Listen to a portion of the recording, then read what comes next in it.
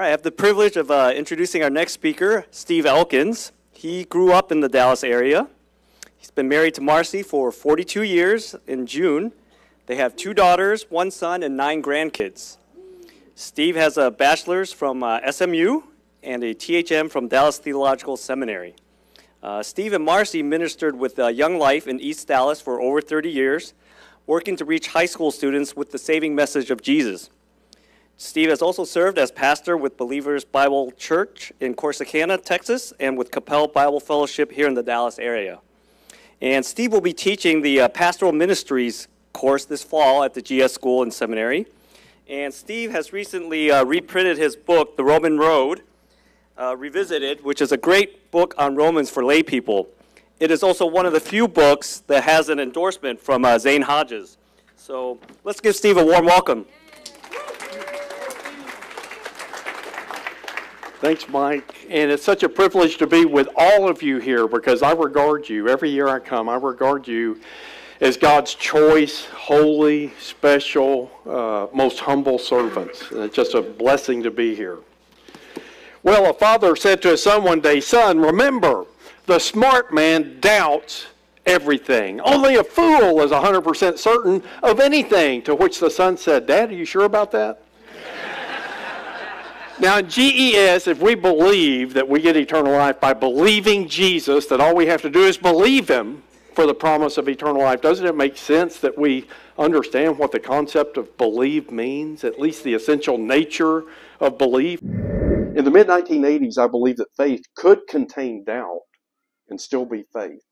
As a result, I thought that trust was actually a better word for believe uh, when sharing the gospel. In fact, yesterday in that funeral, sadly, uh, the preacher said, "It's it's not believe. The demons believe. You've got to trust." And I, you know, was cringing in my seat, thinking, "Boy, I should send him this paper." We're going to talk about a conversation I had with Zane Hodges in around 1987 for 40 hours over a two-week period, debating this because I was determined faith has a volitional element. It doesn't require certainty. You could have doubt, and uh, as a result, he and I think the Holy Spirit used him, swayed me on my view of faith to believe like he does. Now I not only believe that faith can have 100% certainty, but if it never was 100% certain, it was never saving faith to begin with. If you believe that faith or belief can be anything less than 100% certainty, then after today's talk, I hope you'll be 100% certain that faith, saving faith, requires certainty. One, the top reason current theologians deny the certainty of faith. In preparing for this talk, I read several books from theologians and philosophers, all touting that faith or belief is volitional. That is, it's an act of the will, it's something one can choose, it's a decision, and they all say it's something less than certainty. Books like Wandering Toward God, Finding Faith Amidst Doubts and Big Questions, that's my philosophy teacher at DBU. Doubting, Growing Through the Uncertainties of Faith by Alister McGrath. He believes uh, faith is actually an uncertain thing. Benefit of the Doubt, Breaking the Idol of Certainty by Gregory Boyd. He attacks our position as faith is certainty as being an idol. Uh, doubt, faith, and certainty, as if they're different things. Faith isn't certainty by Anthony Thiselton. Knowing and Growing in the Assurance of Faith. Joel Beeke is a famous Reformed writer that writes on this subject of assurance from a Reformed perspective, but no wonder his audiences fail to get at assurance because he doesn't believe faith is assurance. Uh, one by reductionist philosopher at Asbury named Kevin Kinghorn, the decision of faith, can Christian beliefs be freely chosen? All these writers have been swayed by the postmodern idea that there is no objective truth. Some, less severe, will say that we can only have certainty of mathematical and self-evident truths, but regarding other things like matters related to history or objective religious or moral statements, we cannot have certainty at best. We can only have, quote, a high degree of confidence. Not only downplaying any idea that belief could be certainty, instead, they insist on the nobility of doubt, how doubt is a good thing, and that the biblical idea of faith or belief is trust even in the midst of doubt. But faith is definitely not certainty for these fellows. Now, before going any further and later making the case that the biblical idea of belief most certainly is certainty, of course we believe that a believer could come to doubt we can never lose our i mean excuse me we can even lose our faith first timothy alone just in that little book gives several reasons of how a believer can lose their faith. They can give up a clear conscience. They can fall in love with money. They can fall in love or get uh, sidetracked with false teaching. The writer of Hebrews warns nearly 50 times in that great book not to fall away, turn away, drift away, slip away, go astray, or be carried away. Not to fall, fail, develop a hardened heart or an evil heart of unbelief, or not endure. Not to fall back, draw back, depart, or come short, neglect so great a salvation, or forsake the congregation, or refuse him who speaks from heaven. These are all his terms. And the book makes clear that even committed believers to whom he is writing can be in danger of losing their faith. John the Baptist, the greatest man outside of our Lord who ever lived, at the end of his life came to doubt. The Apostle Paul realized doubt and disbelief were even a possibility for himself when he said, If we, including me, are faithless. So when one says faith can have doubt at the same time be faith, and of course we'll say it can't be, that doesn't mean a believer can't go on afterwards to doubt. They can. They can even die in their doubt and disbelief. They're still saved, of course, because in the gospel, Jesus never promises that our faith is indefectible, only that the eternal life that God at one instant of faith can't be destroyed or taken away. Now, what we'll be saying is simply biblically, at the moment of believing something, one can't at the same time be doubting it, or else he is not said to be believing, at least how the Bible terms it. We'll see that in just a minute. But these authors I've mentioned are quick to say outside of mathematical and self-evident certainties, absolute certainty is impossible. Alister McGrath, like these others, just conveniently changes the lexical meanings of faith to fit his formula. He says, Yet absolute certainty is actually reserved for a very small class of beliefs. For example, things that are self-evident and capable of being logically demonstrated by proposition statements. Christianity does not concern logical proposition or self-evident truth. That's a big lie. Mm-hmm. But then he says, such as 2 plus 2 equal 4. The things in life that really matter, underline that because we'll come back to it in a second, cannot be proven with certainty. He then quotes Alfred Lord Tennyson, for nothing worthy proving can be proven, nor yet disproven. Wherefore thou be wise, cleave ever to the sunnier side of doubt, as if doubt's a good thing. Now, concerning the important issues of life, God's existence, human destiny, and so forth, McGrath says, these cannot be proved with total certainty. At best, we can hope to know them as probably true. There will always be an element of doubt in any statement that goes beyond the world of logic and self evident propositions. That's postmodernism. And here's where he radically changes the basic, universally accepted meaning of the word faith. He says anyone who wants to talk about the meaning of life, the gospel, biblical issues, etc., has to make statements that rest on faith, not absolute certainty. Anyway, God is not a proposition, He's a person. We say He's changed the meaning of faith because He's made faith to be something less than absolute certainty. We'll show from the Bible that can't be. McGrath goes on. To believe in God demands an act of faith. It's not based on absolute certainty, nor can be. To accept Jesus, to accept Jesus demands a leap of faith.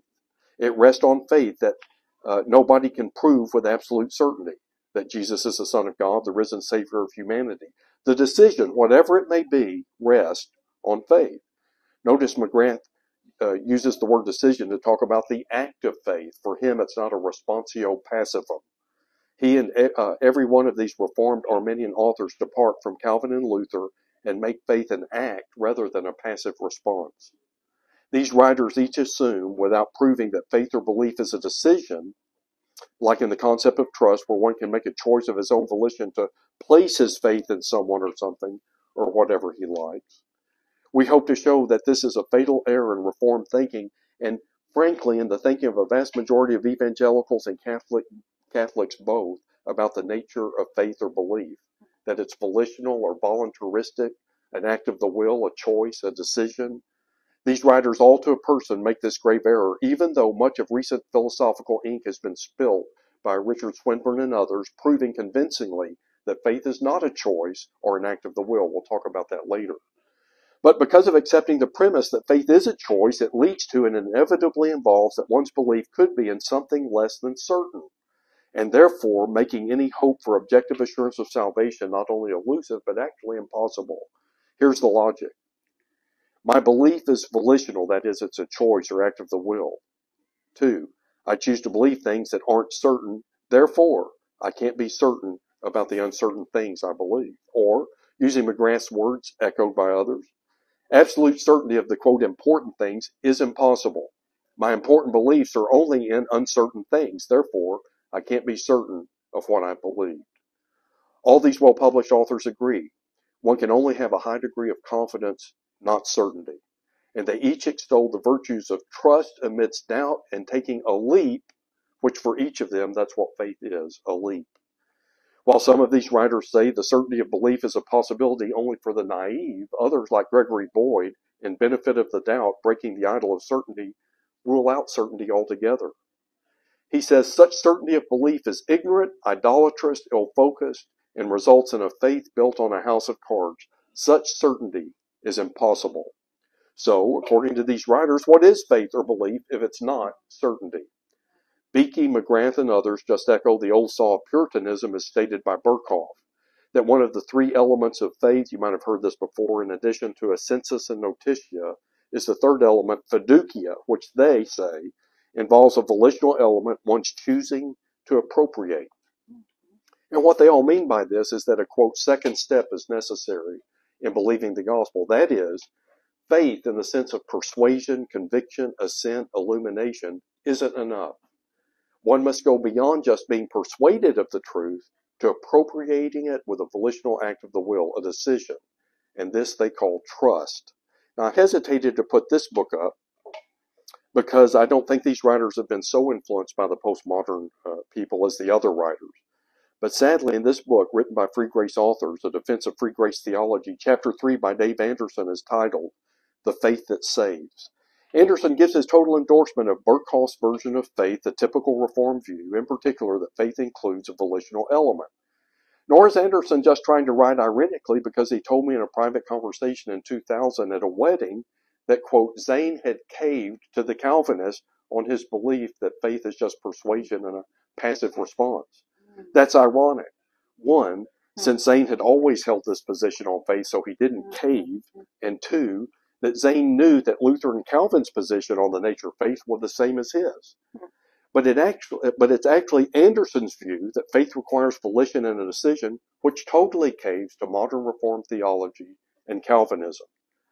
Anderson says, my view is essentially following Berkhof's definition of faith, a Reformed scholar that many other Reformed scholars like to reference. Citing Berkhof with approval, he says, a volitional element, fiducia, this is the crowning element of faith. Faith is not merely a matter of the intellect or even the intellect and emotions combined. It is also a matter of the will. The third element consists in a personal trust in Christ as Savior and Lord, a recognition and appropriation of Christ as the source of pardon and of spiritual life. And then he even cites Hodges as using these words, trust and appropriation. But this is an absolutely false use of Hodges' words. Hodges was very clear, and Anderson knew this because we talked about it, that Hodges felt that the simple passive response of being persuaded or convicted to the truth of Jesus' words in the gospel by itself and that alone was what appropriated the truth of the gospel. Hodges very much was opposed to, more than any other writer I've ever known, the Berkhof Reformed idea that a quote, second step or volitional step of trust was also required in believing.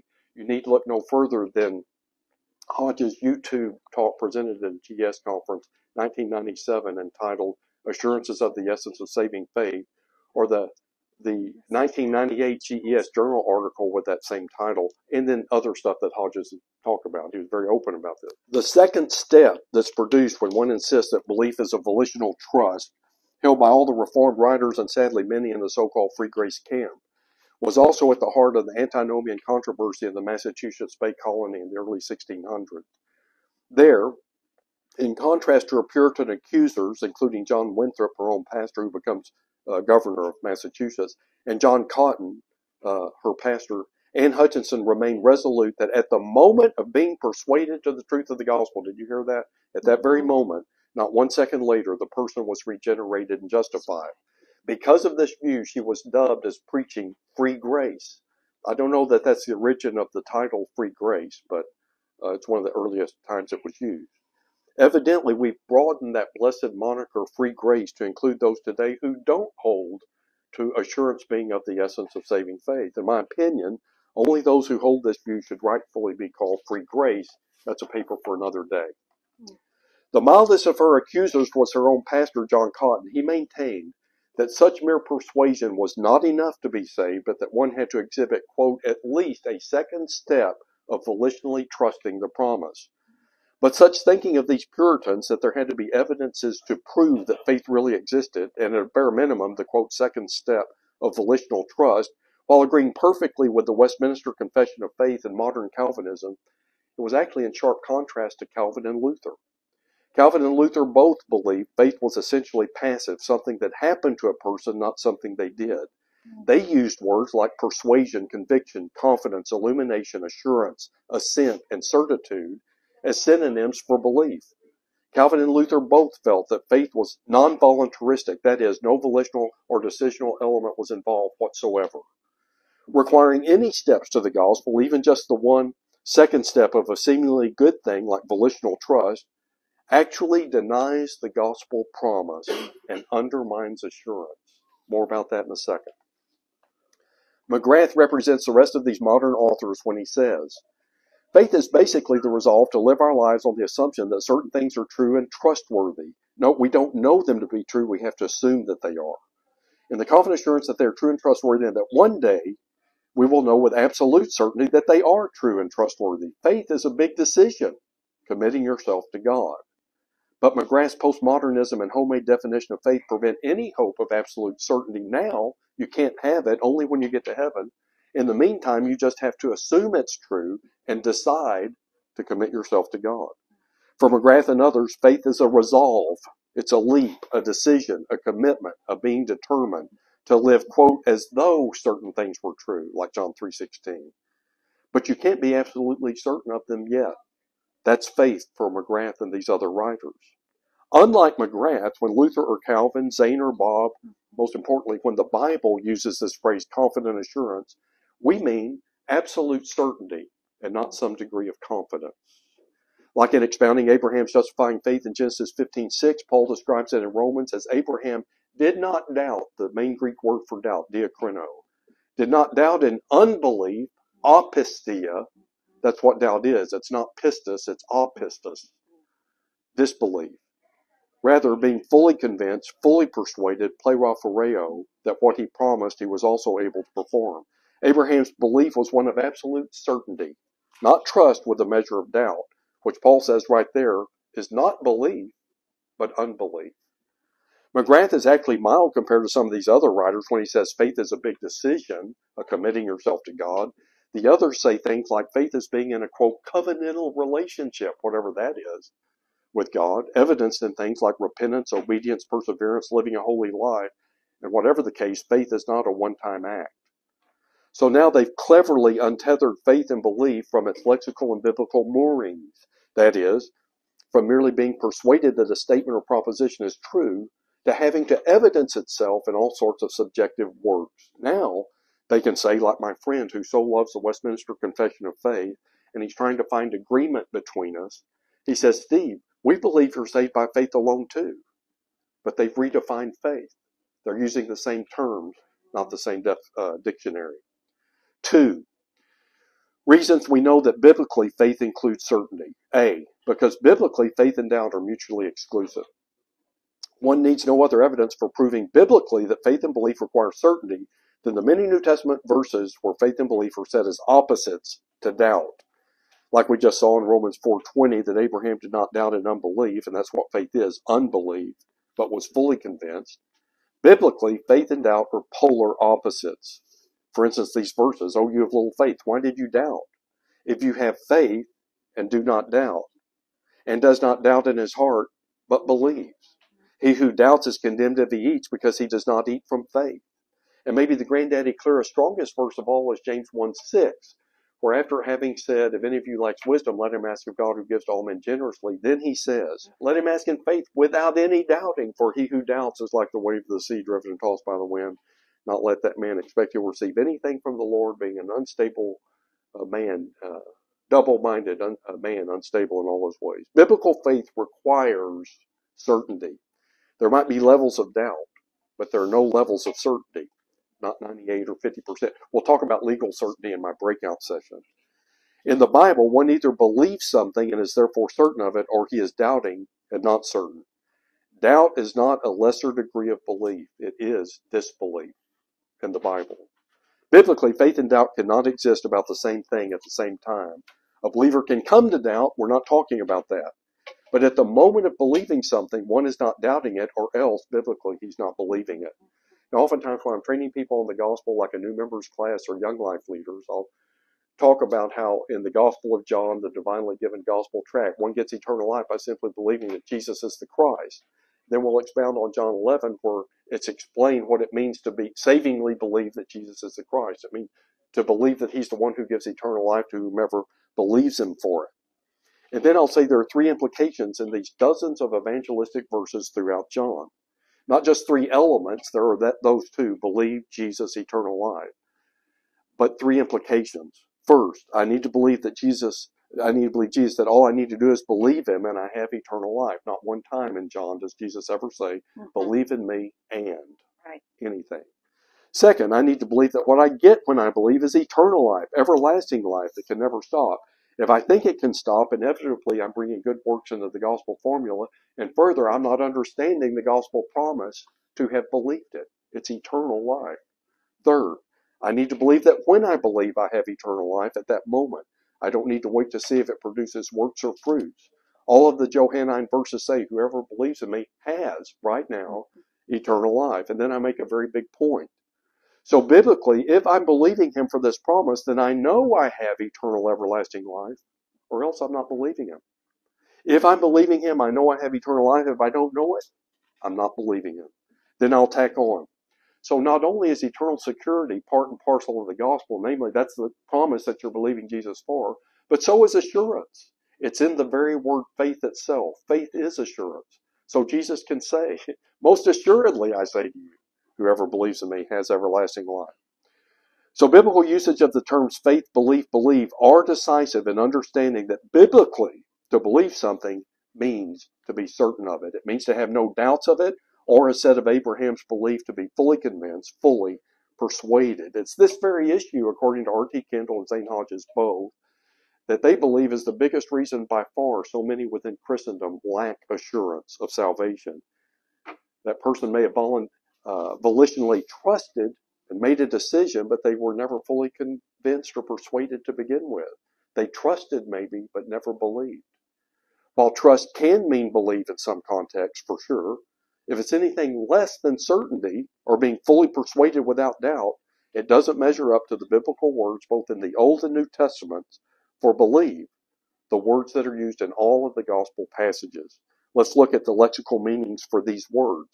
Among reasons we know that faith includes certainty is B, because of the lexical meanings of pertinent words for faith and belief.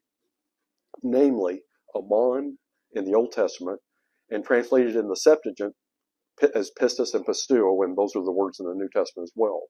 Before looking at the assortment of Old Testament words for trust, which don't measure up to believe, let's say up front that the Old Testament word for believe is aman. Aman is used 96 times in the Old Testament. It is never an act of the will. It is always simply a passive response of believing or not believing a statement or a proposition. It's always translated in the Septuagint, from which Jesus and the apostles exclusively quote from by the common New Testament salvation words for faith or believe, pistis or pisteuo. We've already seen those particular words can never contain doubt, only certainty. If there's doubt, there's not pistis and pisteuo. If there's belief, there can be no doubt. And importantly, aman is used in the prototypical verse on justification, Genesis 15:6. And Abraham believed aman, or in the Septuagint pisteuo, believed the Lord, and it was counted to him for righteousness. Of course, as we're saying, it always does. It's used there in connection with him believing a proposition, namely, that in him all the nations of the earth would be blessed. Coming to find out in Galatians that he understood on this occasion that the Gentiles, that's what the word nations is, the Gentiles would be justified by faith. So Abraham had much more soteriological understanding and believed more New Testament type saving truth than is often thought. In its 96 Old Testament uses, it normally means believe or believed and is virtually always translated by pisteuo. And in its few adverbial uses, where it means sure, secure, assured, true, certain, or verified, it's still always translated by pisteuo or the adverb pistos, which means faithful, trustworthy, sure, worthy of belief. Aman, most certainly. is a one-to-one equivalent or correspondent to the pistis pisteuo family. By the way, the English word believe is also a one-to-one correspondent to pisteuo. However, in English, where the illocutionary force or inflection uh, is used, it could refer to something less than certainty. If I say, Joe, I believe I'll be there by 1030, the inflection means I think I will be, but I'm not sure. However, there is no extant usage in the ancient world of pisteuo or pistis where it has that kind of nuance. You either pisteuo something or you don't. If you do, then you're certain that of that something. If you're doubting, as we saw in those many New Testament verses, then you're not having pistis. You're not believing it. You're not having faith. As a noun, aman refers to something that is sure, reliable, steadfast, certain, true. In other words, like pistis is used even in the New Testament in its objective sense. Sometimes pistis is translated evidence or proof. And so aman has that ability too, something that elicits pisteuo. And like pistis or pisteuo, there is no occasion in the Old Testament of aman having any volitional element to it. But there are any number of Hebrew words in the Old Testament used for trust, which all contain not only a volitional element, but allow for doubt at the same time as the trust. We have plenty of words like that in English as well, uh, conveying the idea of having trust and doubt at the same time about the same thing. Let's say if I go repelling. Interestingly, most of these books use repelling as an illustration. I actually repel. I used to own all of our equipment. We took Young Life trips, uh, you know, to Enchanted Rock and other places. Okay, so I don't have to have 100% certainty that the rope will hold me to repel. I don't have to have 100% certainty the anchor, uh, everything's anchored properly, or the carabiners are going to work, or that the Lord's going to get me down unscathed. I simply need to trust the rope. I need to assume that everything's anchored properly. I need to rely on the mm-hmm. carabiners or mm-hmm. rest in the competence of the belayers or hope that the Lord will get me through. You, you get the idea. There are many mm-hmm. other words. I might have probability certainty or statistical certainty, but I don't have personally 100% certainty. You might have, but I don't because I know too many real life horror stories, even at Young Life camps, where things went awry and repelling. Yet it's precisely that kind of trust that these lordship and sometimes free grace writers extol as saving. Now, of course, to say 100% certainty is a tautology. There are no degrees of certainty. We'll talk about that again, as I said, in legal certainty in, in the breakout session. As Zane used to like to say about belief, you're either certain of something or you're not. There can be varying degrees of doubt, but no varying degrees of certainty. But by taking the definition of faith as they do, not only do these writers maintain that one can be eternally saved without being certain, Conversely, listen to this. All of them also say to a person, faith is certainty by itself is not enough to save. You have to evidence that trust in all kinds of various ways, the minimum of which, like Anne Hutchinson's pastor, making a volitional choice to will to trust. Hmm. So here are some of the many Old Testament words for trust that all involve something short of certainty. And in fact, they're noble because they imply trust in the midst of doubt or trust when facing uncertainties. And they also require or imply a necessary volitional decisional act of the will. Now, I used all of these words with Zane in our debate those many years ago, but he quickly brushed them off by simply saying these weren't the words aman, pistis, or pisteuo that are used in all the salvation passages and which have their well established meanings of certainty. Mm-hmm. All these words for trust have vivid word pictures behind them. Look at the word pictures as we read through them that bring out the volitional element.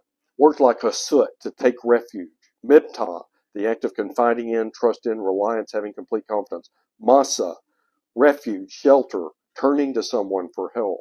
You see a volitional idea. Batah, to throw, lean on, hence to trust, put one's hope and confidence in, to rely on, be secure, to cause to rely on. This is the word throughout Psalm 22 of Jesus during his dark hours of the Passion, having to choose to trust to mm-hmm. rely on, to throw himself on the Lord, to mm-hmm. have to even remind himself of reasons mm-hmm. to trust when the temptation was so strong not to. Galal, to roll, roll away, move by turning or rotating, to wallow. You certainly see a volitional, at least psychological volitional element in this. Hill, whirl, dance, ride. Uh, it's a word used to be in labor, hence to wait, hope in, turn to. Demim, be motionless, still, quiet, rigid, rest. Obviously, It's a psychological choice to choose to rest when you're uncertain or fearful of something. But you can do it maybe with the Lord's help. You call to hope, cause to hope, wait expectantly, take refuge. Rakas, to trust in, put one's trust in, rely on. Hasa, to seek and take refuge, find and go to a safe place for shelter, to flee, etc. All these words are translated to trust, rely on, most often to put one's trust in, to hope in, to depend on, etc. While they are extremely virtuous and every believer should learn to choose to trust and rest in, rely on the Lord, to turn to Him, to take refuge in Him, they are quite in contrast to the passive and certain nature both of Aman and pisteuo word groups. Mm. All these words we just looked at include volition and trust in the midst of doubt, indebatably wonderful things. But insofar as they are intended to mean something short of certainty, they should not be used in connection to believing the gospel promise, and in the Bible they aren't. Three, one can't choose to believe what he knows isn't true. A, while one can trust, that is, choose to trust what he knows might not be true or certain, one can't believe what he knows, in fact, to not be true. B. Philosophers call this direct doxastic voluntarism. Direct doxastic voluntarism is the idea that at any given moment one can't choose to believe what he knows isn't true. We use this in class all the time, but if I were to offer you a million dollars as if I had it to believe that there's a pink elephant dancing behind me right now, no matter how hard you choose and try to believe, you can't believe it. However, while direct doxastic voluntarism can't happen, the philosophers all say indirect doxastic voluntarism can. That is, our desires and what we want to believe can play a great part in our coming to believe something of which we're not yet convinced. For instance, the person who wants to believe that John 3:16 is true, but she can't. Maybe she has intellectual problems with the Jesus' historical statements or with the resurrection, or maybe there's interior reasons he or she can't even put their finger on or describe that they have. They want to believe it, but they just can't. Then we might say to them, God is a rewarder of those who seek him. If anyone's willing to do his will, he shall know of the teaching. Uh, certainly, we might say, if you read the book of John with an open mind, we believe you'll come to faith. And so these philosophers would say, while the person can't willfully change their belief in that instant, he or she can, with his will, choose to do certain things that put him or her in a better posture to come to faith. He can study certain evidences and avoid others. He can pray uh, seek counsel, and so forth. In the case of telling them just to read John, they might need to read it several times. We believe, just like with so many of the characters Jesus evangelizes in that great book, think of Nathaniel or the woman at the well, that the Holy Spirit has self authenticating hooks in how that book is written hmm. that bring people to faith in Christ.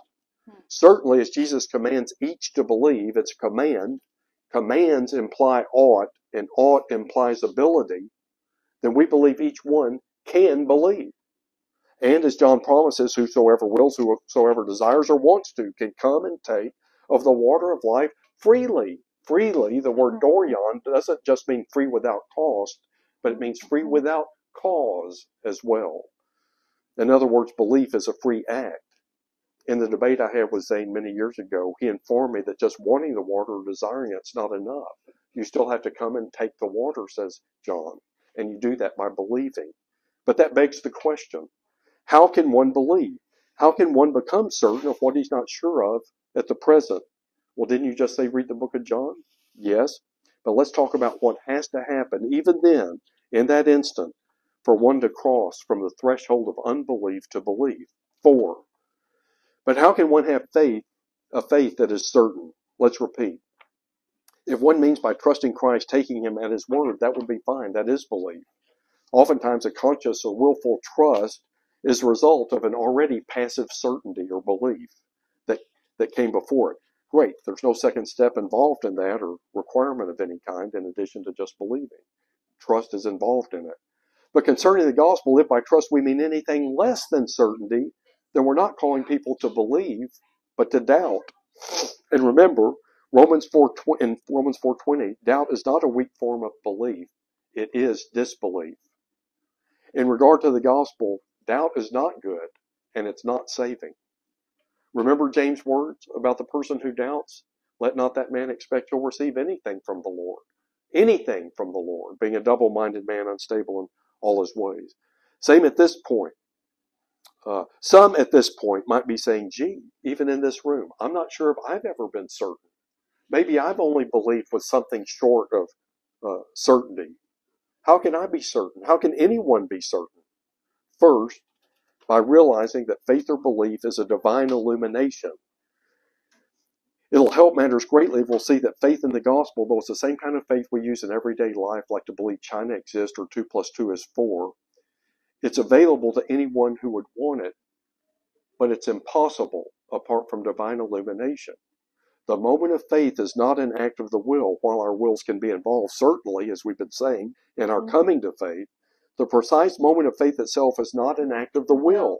This is seen not just in philosophical arguments like doxastic voluntarism, but in verses like John 1.13. All of us can probably quote John 1.12, that we're born into the family of God the moment we believe in Jesus Christ. Mm-hmm. But in 1.13, he caveats and he says, Who were born not of blood, nor of the will of the flesh, nor of the will of man. It's not of the will, hmm. but of God. That is of God's will, like James 1:18.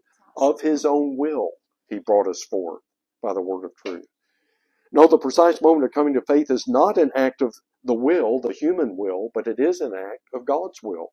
Like when Jesus says to Peter in his response that uh, Jesus is the Christ, Jesus said, Flesh and blood did not reveal this to you, but my Father in heaven. One of Zane's favorite verses on this was 2 Corinthians 4. Paul has just said, But even if our gospel is veiled, it is veiled to those who are perishing, whose minds the God of this age is blinded, underline that, who do not believe, lest the light of the gospel of the glory of Christ, who is the image of God, should shine on them. Now we know from passages like Matthew 13, where Jesus also talks about those who are blinded, quote unquote, to his teachings, it's because they have closed their own eyes and are unwilling to turn and come to him so that they may be healed and that they may see. Make no mistake, our blindness before coming to faith is in accord with our own willful blindness, but that just also happens to cooperate with the God of this age who is actively trying to blind people. But Paul said just before this that whenever anyone turns to the Lord, the veil is taken away. So with our wills, as we've been saying, we can turn to the Lord, seek Him, study the evidence, Jesus promises, and so forth. But still, something has to happen to create certainty. What is it? And here's the verse that Zane would cite over and over 2 Corinthians 4 6. For it is the God who commanded light to shine out of darkness, who has shown in our hearts to give the light of the knowledge of the glory of God in the face of Jesus Christ. That's what has to happen. No doubt the Lord always uses His word, spoken directly at times, like to Abraham or Paul on the Damascus Road, but normally today simply through His scriptures. Faith comes by hearing, and hearing by the word of God. But it still requires a miraculous illuminating fiat on God's part to see it as true when he says, let there be light mm. in our hearts, that's when we believe. And it's a self evident type of certainty that needs no other proofs. For mm. instance, you sitting in this room know with certainty right now that the lights are on, mm. unless you're blind. You know they're on. And it's with this same kind of very certainty that one sees and believes the gospel message is true.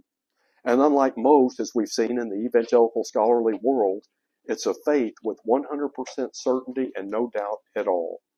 How did it come about? Whether we used our wills in seeking and praying and reading, or whether we used our wills to be running 180 degrees the opposite direction, like Nebuchadnezzar or the Apostle Paul when he was Saul.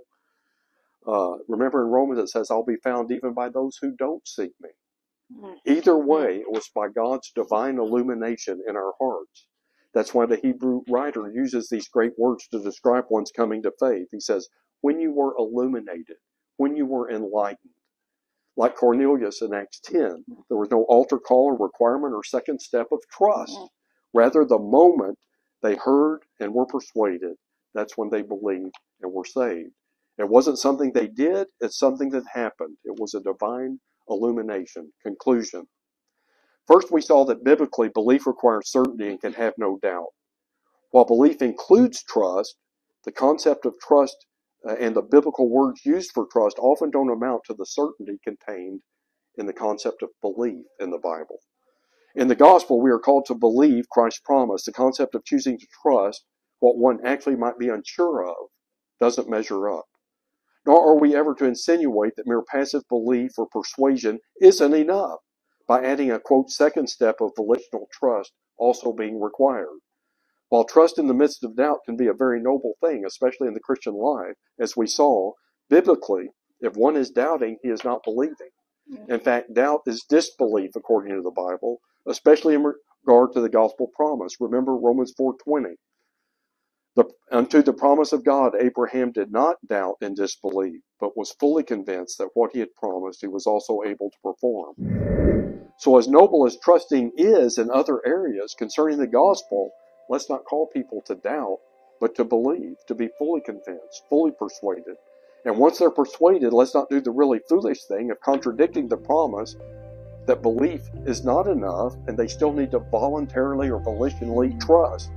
Belief includes trust, but not vice versa necessarily. Hmm.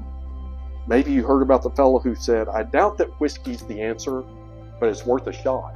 Isn't that what we do when we present the gospel and we indicate that something less than certainty is okay? Uh, we think Jesus is the answer. He's worth a shot. Give him a chance. You know, take the risk, take the leap. No, we need to call people to believe, not to doubt. Thank you.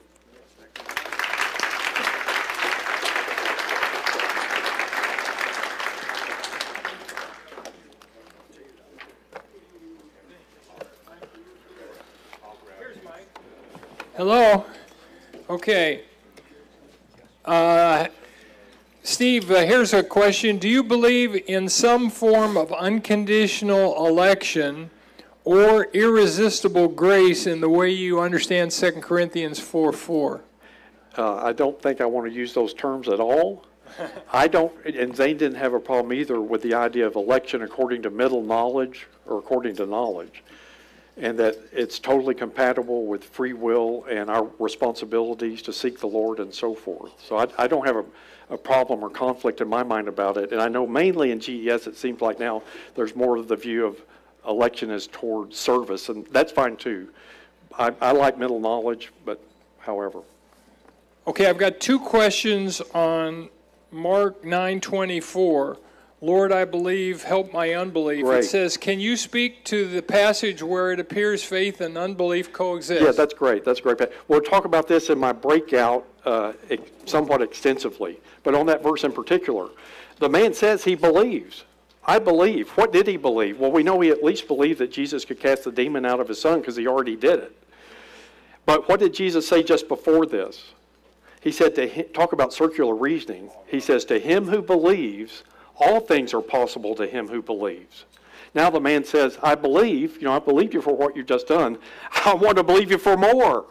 And this is Zane's position too on, there are many verses, and we'll talk about it in our breakout tomorrow, that might indicate levels of faith that, you know, you could be, we'll talk about legal certainty too tomorrow. Good. But, uh, but Zane's view was that these deal primarily with coming to know more things. Yes, you can strengthen your faith but you, you already believe you were already sure or it wasn't faith.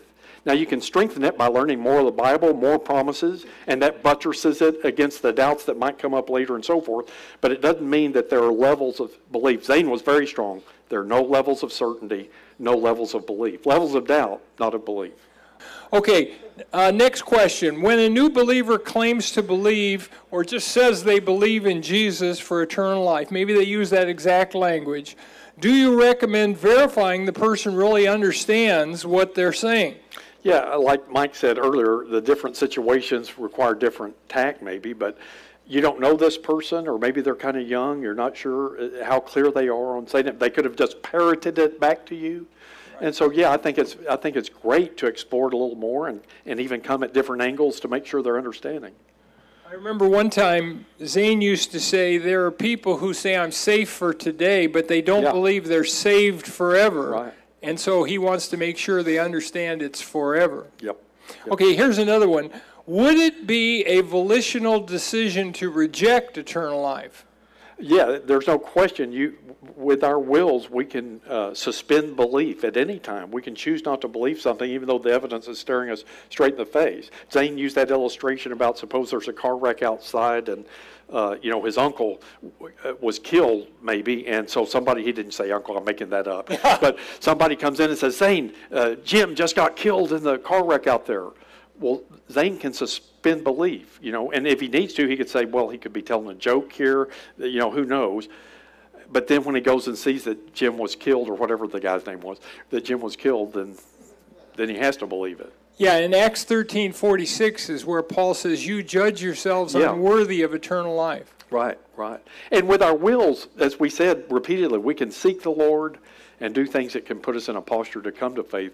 It's just uh, Zane's belief and mine that uh, the moment of faith itself is a divine illumination. All right, here's a tough one.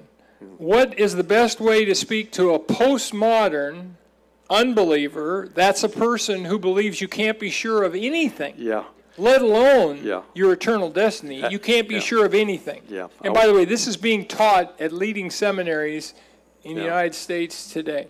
Yeah. I know there are some churches that actually have apologist ministers now, and this would be a question for them because they can give great detail. But obviously, postmodernism is self-defeating on its face because when they say you can't know anything, that has to apply to the statement they just made, kind of like the father and son story. So it's got to you've got to start there probably. But but with the younger generation, I don't know that that's appealing Yeah. either. You know, I don't know if it'll dent, dent put a dent in them. Yeah.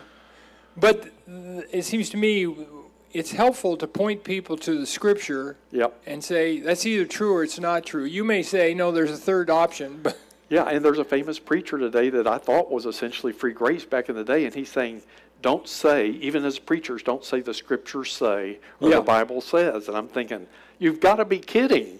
You know, I mean, Jesus did it. and- yeah. yeah, you're supposed to say some guy named Yeah. Paul, Yeah. some guy named Pete. Uh, okay, here's an online question. We'll end with this: Can a person have assurance by simply asking God for it? You know, by this person says, "Do I believe in Jesus for eternal life?" Asking God, "Do I believe that?" Well, okay, I, I'm not sure I understand it totally. I'm but not sure I do either. there's anybody can have assurance uh, that's based on what they're hearing. Like say the Islam person, Muslim person has reasons to have assurance they're going to be in heaven. Blah blah blah.